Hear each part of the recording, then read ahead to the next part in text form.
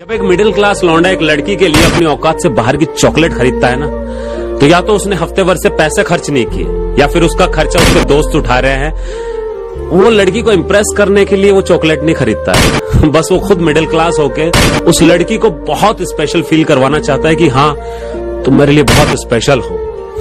बहुत स्पेशल हो, मैं बता नहीं सकता कितनी स्पेशल हो। This is for you love.